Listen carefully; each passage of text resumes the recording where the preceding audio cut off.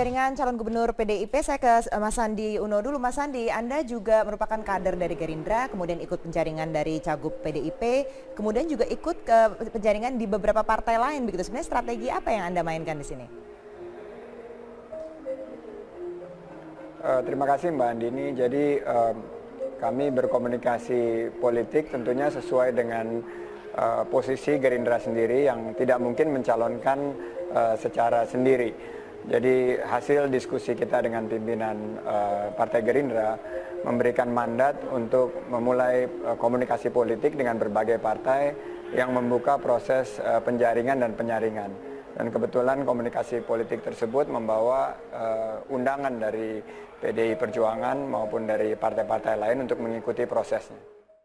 Ke Mas Andi. Mas Andi, kalau dilihat dari hasil survei selama ini dari beragam survei, nilai Anda ini masih bisa dikatakan kecil. Jikalau memang ini memang menjadi faktor yang terpenting begitu ya, dilihat paling tidak oleh PDIP sendiri, apa yang Anda akan lakukan untuk bisa mendokrak uh, elektabilitas Anda? Ya tentunya cara yang paling ampuh adalah uh, turun menyapa warga, bersosialisasi dan ini sudah masuk ke hari ke-93 eh, di mana saya terus eh, menangkap aspirasi daripada masyarakat.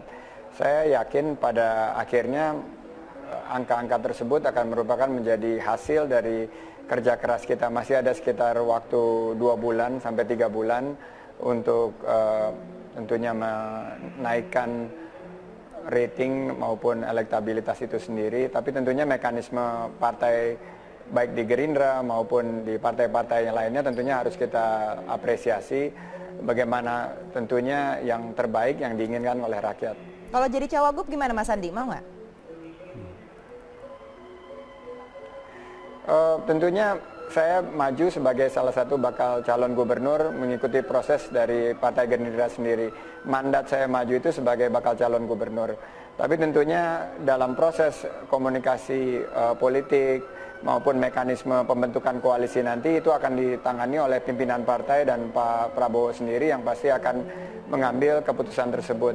Saya yakin bahwa pada ujungnya niat tulus ikhlas untuk membangun Jakarta itu e, nanti akan menemukan format sendiri di mana format itu tentunya yang yang paling memiliki seperti tadi Mbak Dini bilang e, kans yang paling baik untuk e, dekat dengan rakyat dan mengantarkan pemimpin baru nanti bulan Februari 2017. Mas Santa, kalau Anda lihat bagaimana banyak sekali yang dinilai nanti baik itu dari hasil survei, kemudian juga ada proses penjaringan, plus juga ada hak prerogatif itu tadi. Apakah nanti ini akan benar-benar menghasilkan sesuatu pemilihan yang akhirnya benar-benar diusung secara demokratis karena memang banyak pilihannya atau memang masih keterlibatan dari ketua umum yang juga menjadi uh, pertimbangan? Ya, eh, pertama saya mengapresiasi ya alur proses yang dilakukan oleh PD Perjuangan, katakanlah eh, penjaringan penyaringannya itu assessment seterusnya oke okay, itu positif. Tetapi menurut saya partai politik, apalagi PD Perjuangan nanti sebagai penentu karena eh, tanpa koalisi bisa eh, mengusung, itu akan menggunakan logika kalkulasi politik realistis. Itu berangkat dari eh, kemampuan partai mendeteksi siapa calon yang memiliki potensi menang paling besar. Katakanlah menyiapkan lawan petahana sekarang ini. Saya menghitung kata survei yang diucapkan oleh Pak Mas Bambang Deha tadi ada beberapa kali, kalau tidak salah lebih dari lima ada tujuh kali. Poin itu penting. Jadi siapa pun nama yang masuk dalam penjaringan DPD Perjuangan, hal yang paling penting menurut saya, kalau realistis, dia mampu mengantarkan dirinya memiliki angka elektabilitas atau tingkat keterpilihan yang tinggi. Kalau tinggi, menurut saya itu akan menjadi pertimbangan yang penting bagi PD Perjuangan. Kita ingat ketika menunggu teka-teki calon presiden di PD Perjuangan pada saat yang lalu, menjelang 2014, 2017 pada saat itu, itu juga sama. Ibu Megawati Soekarno Putri sebagai pemilik hak prerogatif seperti Mas Bambang katakan tadi, ketua umum bisa saja mencalonkan. Tetapi mengapa kemudian ada rasionalitas realistis kalkulasi yang dilakukan PD Perjuangan? karena elektabilitas Pak Joko Widodo pada saat itu. Karena itu untuk konteks DKI, PDI Perjuangan tidak mungkin mencalonkan figur-figur yang tidak memiliki peluang menang. Artinya lebih baik mendukung Pak Ahok kalau gitu, kalau kemudian tidak mampu mengalahkan Pak peluang untuk mengalahkan Pak Basuki Cahayapurnama. Dan ini pertaruhan bagi PDI Perjuangan pemenang di pilkada DKI, eh, di apa pileg eh, pemilu legislatif di Jakarta. Karena Jakarta kan tidak barometer. Dia secara tidak bukan kuantitas tapi kualitas. Bukan sekadar APBD-nya berapa tapi ini gengsi politik. Ini juga soal prapilpres karena sebelumnya gubernur DKI itu menjadi presiden Republik Indonesia dan kalkulasi itu tidak mungkin uh, tidak dilakukan serius oleh PDI Perjuangan. Kata kunci yang ya, mungkin saya baca dugaan saya dengan segala macam uh, apa namanya parameter indikator yang dibuat itu positif bagus, tetapi ujungnya menurut saya adalah kalkulasi realistis soal angka keterpilihan elektabilitas. Elektabilitas itu diukur dari survei yang kredibel dan terukur. Saya ke Mas Bambang. Mas Bambang, tahu tadi kata Mas Hanta, ini yang paling penting memang ujung-ujungnya adalah dari faktor elektabilitas itu. Tanggapan Ata, betul. Peluang, peluang, pro, pro, prospek. prospek elektoralnya yang paling menentukan begitu. Apakah betul seperti itu? Betul. Jadi eh, betul apa yang disampaikan Mas Hanta Yuda tadi bahwa itu nanti akan menjadi keputusan politik kan menentukan pilihan kandidat. Dan memang kalau keterpilihan pertimbangan utamanya kan uh, survei ya di sana di survei itu akan terpotret popularitas, elektabilitas, elektabilitas. Kemudian mungkin juga akan nampak bagaimana performa incumbent selama ini.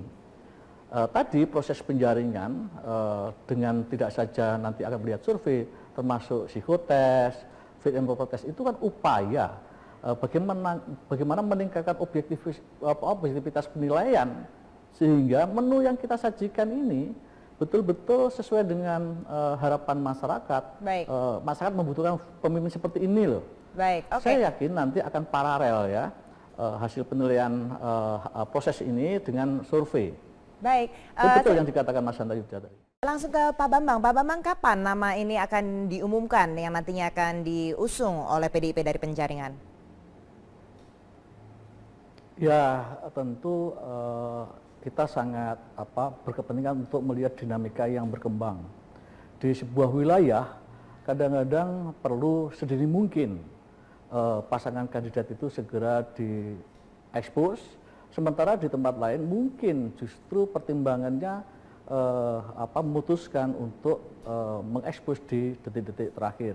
Itu sangat situasional. Nah, eh, betul tadi yang sampaikan Mas Hanta Yuda bahwa kami punya mesin partai yang relatif efektif dan efisien. Tetapi magnet personal ini juga sangat menentukan karena paduan keduanya uh, akan sangat uh, meningkatkan peluang probability kemenangan si calon dan PDI tidak hanya ingin bisa menang tapi bagaimana si gubernur kepala daerah yang kita menangkan itu kemudian memberikan manfaat sebesar-besarnya pada masyarakat DKI bisa meningkatkan kesejahteraan masyarakat DKI bisa menyelesaikan problem-problem krusial, problem-problem kronik uh, uh, uh, yang ada di ibu kota ini.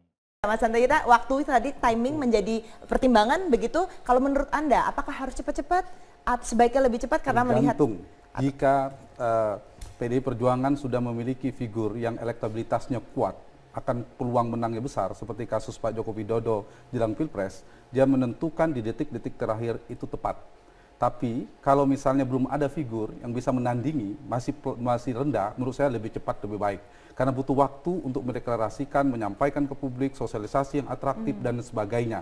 Lain ceritanya, kalau kemudian PD Perjuangan memilih pada detik-detik terakhir, kemudian yang diusung adalah petahana Pak Ahok, itu benar karena elektabilitas Pak Ahok dipertimbangkan. Tapi kalau kondisinya DKI menurut saya ketika menentukan di akhir itu waktunya terlalu sempit. Jadi akan lebih baik cepat. Poin yang lain, menurut saya penjaringan dilakukan oleh PD Perjuangan hmm. bagus adalah saringan tentang integritas, tentang kapabilitas, tentang ada melibatkan profesional. Mudah-mudahan itu cara yang baik. Kemudian ujungnya kan adalah soal ukuran elektabilitas, itu okay. yang ukur. Mudah-mudahan bukan faktor yang lain, misalnya isi tas dan sebagainya. Nah itu yang harus di, uh, didukung. Kalau itu yang dilakukan itu cara partai berkontribusi untuk memperkuat partai baik. dari dalam. Kalau begitu ya. hanya timing juga yang bisa menjawab teka-teki dari penjaringan calon gubernur PDIP. Kalau Ibu Hasina ini bagaimana? Apakah ini kalau dari survei nama Ibu saya belum melihat nih Bu. Jadi gimana nih cara mendongkraknya untuk bisa akhirnya bisa terpilih paling nggak dari PDIP? Um, kita lihat harus lihat itu siapa yang mensurvei karena kan e, artinya saya kan mencalonkan gubernur ini e, yang kedua kalinya. Jadi tentu rasanya saya sudah punya investasi politik yang cukup lama, yang sudah berjalan hampir lima tahun, yang Pak Ahok waktu itu belum dikenal di Jakarta ini, saya udah bersosialisasi ke masyarakat, udah di mana-mana deh. Jadi artinya uh, saya kira tergantung survei siapa yang mensurvei itu aja yang kita lihat kan. Tapi kalau ibu sendiri menilainya ibu cukup populer nggak untuk masyarakat Jakarta? Oh, saya rasa begitu karena saya sudah investasi sudah lima tahun karena pada waktu itu juga Pak Jokowi belum mencalonkan diri sebagai calon gubernur, beliau masih uh, wali kota di Solo, tapi saya sudah dikenal di Jakarta, jadi saya uh -huh. sudah cukup populer lah di Jakarta. Saya kira anak kecil juga sudah tahu wanita emas siapa. Oke. Okay. Ini uh, apa namanya survei-survei sudah uh, seperti dikatakan tadi survei-survei sebenarnya sudah menunjukkan siapa yang sekarang menjadi elektabilitasnya tertinggi dan bisa saja mungkin berubah begitu. Tapi apakah dengan dinamisnya politik ini begitu cepat berubah sehingga nama-nama baru masuk kemudian nama-nama yang tadinya mungkin hasilnya lebih kecil bisa jadi melejit lebih tinggi seperti apa menurut Butuh proses, Anda? tidak mungkin seketika ya pasti. Tapi saya ingin memulainya dari tadi ya penjelasan dari Mas Bambang DH PDI Perjuangan tadi. Kalau saya tangkap berarti ada dua pintu yang akan digunakan oleh PDI Perjuangan Perjuangan. Satu pintu penjaringan dari sekian 30 sekian nama itu akan muncul kalau ternyata ada nama yang memiliki prospek elektoral yang memadai bisa mengimbangi kekuatan petahana. Itu satu. Tapi kalau tidak ada, dugaan saya akan menggunakan pintu yang kedua. Pintu kedua itu ya perhitungan realistis tadi, survei yang kredibel, yang yang akurat tadi akan digunakan oleh PD Perjuangan akan menentukan calon. Siapa dia? Tentu nama di luar yang sudah masuk penjaringan. Bisa kadernya, bisa non kader, bisa juga Pak Ahok sendiri dan seterusnya yang memiliki potensi elektabilitas yang dianggap oleh PD Perjuangan yang memadai. Artinya proses menangnya besar gitu kira-kira. Karena PDI pasti ketika legislatifnya dia dominan, pasti dia ingin eksekutifnya juga dikuasai. Itu pasti pertimbangannya. Nah soal itu e, memang urutannya begini dikenal popularitas itu, kemudian dia disukai.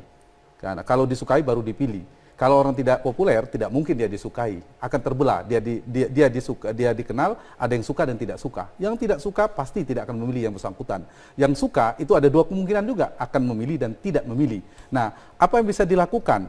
faktor kemenangan di pilkada pilpres secara langsung itu faktornya 3 sampai 4, tapi faktor yang paling dominan itu adalah magnet elektoral personalnya. Daya tarik personalnya itu bisa dari dari berbagai macam yang sifatnya rasional maupun tidak rasional. Jadi figur-figur yang memiliki personal branding yang kuat, dia modal awalnya kuat, misalnya dia negatif ratingnya rendah, isu negatifnya dia minim, kemudian dia punya terobosan, keberanian, seterusnya ada kemiripan dengan dengan yang dimiliki oleh Pak Basuki Cahayapurnama, itu dimiliki oleh lain, artinya dia punya potensi secara personal. Itu satu. Faktor yang kedua membantu adalah efektivitas, efisiensi bagi partai politik atau tim untuk menggunakan mesin politik yang tepat mesin politik itu misalnya tadi Mas Sandiaga Uno mengatakan cara paling ampuh adalah sosialisasi dekat dengan rakyat. Ya, mungkin untuk konteks Jakarta dengan masyarakat yang uh, pemilih nasionalnya banyak harus atraktif. Bagaimana dia mensosialisasikannya itu ada kejutan tanda petik atraktif untuk membangun uh, orang beralih memperhatikan dia. Jadi ada strategi media sosialnya bagaimana dan seterusnya.